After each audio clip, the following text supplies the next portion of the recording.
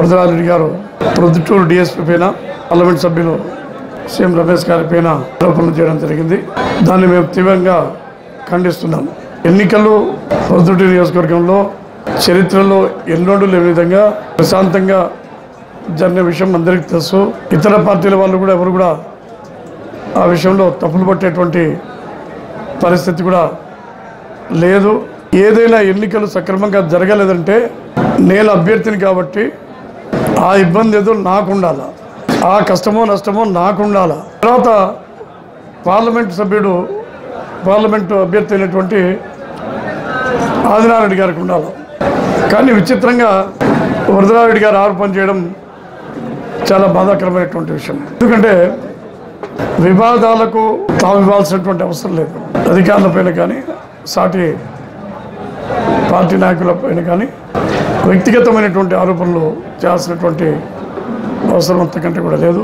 మరి ఆయనైతే ఎన్నికలపైన మరుసటి రోజే ఇటువంటి ఆరోపణలు చేయడం అంత సీనియర్ నాయకుడు జిల్లాలోనే కాదు రాష్ట్రంలో కూడా చాలా జిల్లాల్లో ఉన్నటువంటి నాయకుల కంటే కూడా సీనియర్ నాయకుడు.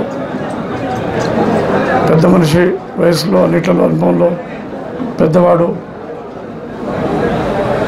ఆయన కూడా మేమందరం కూడా చాలా గౌరవించడం గౌరవిస్తున్నాం. అటువంటి వ్యక్తి ఈ విధంగా ఆరోపణలు చేయడం అనేది మాకైతే తీవ్రమైనటువంటి మనస్తాపాన్ని కలిగించింది.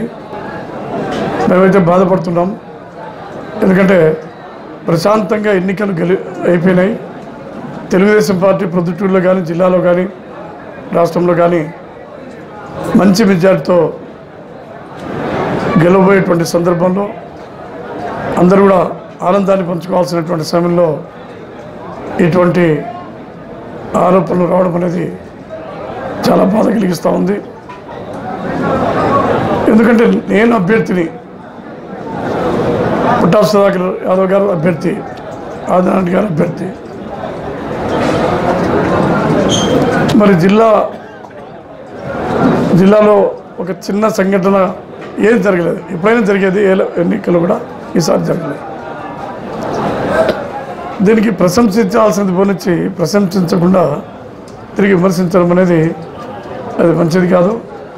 ఆ విధంగా చేస్తే సక్రమంగా పనిచేసేటువంటి అధికారులకు కూడా వాళ్ళ యొక్క మానసిక స్థైర్యాన్ని నైతిక స్థైర్యాన్ని మనం దాని మీద దెబ్బ ఎంత పని చేసినా కూడా ఇటువంటి నిందలు ఆరోపణలు అంటే ఇది బా- నిర్వహణలో వైఫల్యానికి సంబంధించినటువంటి ఆరోపణలు కాకుండా అవినీతికి సంబంధించినటువంటి తీవ్రమైన ఆరోపణలు చేయడం అనేది చాలా బాధాకరం. కానీ ఆయన ఏ ఉద్దేశంతో చేసినా కూడా కానీ ఏ ఉద్దేశంతో చేసినా కూడా మేము దాన్ని తీవ్రంగా ఖండిస్తున్నాం ఎందుకంటే ఎన్నికల్లో డబ్బులు తీసుకున్నారు అంటే ఎవరి వాళ్ళ ఎన్నికల్లో డబ్బులు పోలీసు అధికారులకు అభ్యర్థులు కానీ అభ్యర్థుల తరఫున కానీ ఇవ్వాలా?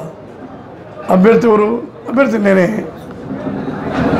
నేను తెలుగుదేశం పార్టీ అభ్యర్థి అయినప్పుడు అవతల వేరే వాళ్ళు వైసీపీ అభ్యర్థి అయినప్పుడు డబ్బులు తీసుకున్నారని ఆరోపణలు చేస్తే అప్పటికి అది పరోక్షంగా నన్ను కూడా విమర్శించేటైతే ఉంది. అంటే ఇది అభ్యర్థిని కానీ పోలీస్ అధికారికి కానీ మధ్యలో ముడిపెట్టి మాట్లాడినట్టయితే ఉంది. నేరుగా కానీ పరోక్షంగా కానీ ఇంత ఎన్నికలు చేసాం మరి అధికారులు కూడా గతంలో మాదిరి ఎవరు పోలీస్ అధికారులు లేరు మిగతా అధికారులు లేరు. ఎందుకంటే మీరు మీడియా ఉన్నారు మీరు మీరు చూస్తున్నారు ప్రజలు చూస్తున్నారు. ఏ చిన్న పొరపాటు జరిగినా కూడా సెల్ ఫోన్లో తీస్తున్నారు ఫోటోలు తీస్తున్నారు వీడియోలు తీస్తున్నారు. పైన ఎన్నికల కమిషన్కి కానీ లేకపోతే జిల్లా అధికారులకు కానీ అందరికీ వీడియోలు ఫోటోలు పంపిస్తున్నారు ఫిర్యాదులు చేస్తున్నారు మెసేజ్లు పెడుతున్నారు. ఇటువంటి సందర్భంలో ఎన్నికల విషయంలో పోలీస్ అధికారులు ముఖ్యంగా డిఎస్పీ డబ్బులు తీసుకున్నారని ఆరోపించడం అనేది శుద్ధాబద్ధం దాన్ని ఖండిస్తున్నాం సీఎం రమేష్ గారి అండతో వృద్ధుడు డిఎస్పి ఈ విధంగా చేస్తున్నారని ఆరోపించడం అది కూడా చాలా తీవ్రమైనటువంటి ఆరోపణ. ఎందుకంటే సీఎం రమేష్ గారు ఒక పార్లమెంట్ సభ్యునిగా గౌరవమైనటువంటి స్థానంలో ఉన్నారు.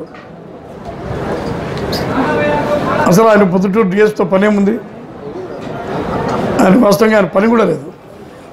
ఆయనేం పొద్దుటూరు డిఎస్పీ పని చేసింది పని చెప్పింది లేదు. ఆయన ఏదో ఆయనకు అనుకూలంగా పని చేసింది లేదు. ఏం లేదు. ఆ అవసరమే లేదు. ఎందుకంటే స్థానికంగా మేము నాయకులం ఉన్నాం. మేమేదైనా డిఎస్పీ గారితో కానీ ఇంకొకరితో గారితో మేము మాట్లాడుకుంటాము. కాబట్టి ప్రతిదానికి సీఎం రమేష్ గారి పైన ఆరోపణలు చేయడం మంచిది కాదు అది.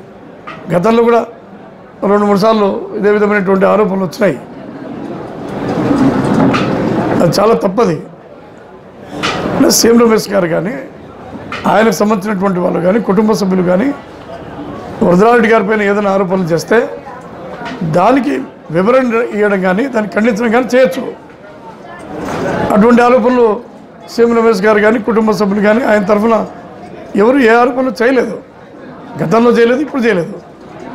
ఆయన ఆరోపణలు చేసిన తర్వాత ఖండించేదానికో వివరణ ఇచ్చేదానికో పోయినసారి ప్రయత్నం చేసినాం. నా ఆరోపణలు ఉండేటప్పుడు పై అధికారులు ఉన్నారు ప్రభుత్వం ఉన్నాయి ఎన్నికల అధికారులు ఉన్నారు పోలీస్ రెవెన్యూ అధికారులు ఉన్నారు. కానీ ఈ విధంగా ప్రధానికి పేపర్లకు ఎక్కడము ప్రతి డిఎస్ పైన ఆరోపణలు చేయడము. ఇంతకుముందు పూజిత డిఎస్ పైన కూడా ఆరోపణలే. అంతకుముందు శ్రీనివాస్ రెడ్డి పైన అంతకుముందు ఆర్డీఓ పైన అందరి అధికారుల పైన ఆరోపణలు చేయడం అనేది మంచిది కాదు అది. పైగా ఆయన సుధాకర్ యాదవ్ గారు కూడా ఖండించిన నేను కూడా ఖండిస్తున్నాను. ముఖ్యంగా సీఎం రమేష్ గారి పైన ఆరోపణలు చేయడం అనేది మంచిది కాదు అది. ఇప్పుడేమైంది?